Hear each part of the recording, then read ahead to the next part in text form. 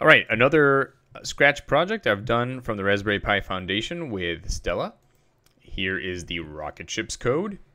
Earth has no code. Here's the monkey's code. Here's the rock's code. And here's the star's code, where Stella decided she wanted 55, not 2, which is what they normally have. So here is the animation.